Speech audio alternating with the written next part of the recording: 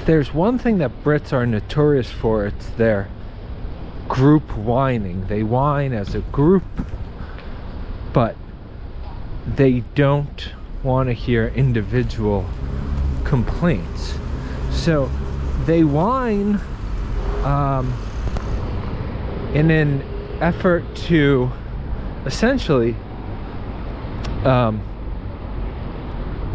feel connected and together as one group. But when someone individuates and, and speaks about something uh, real that's affecting them individually,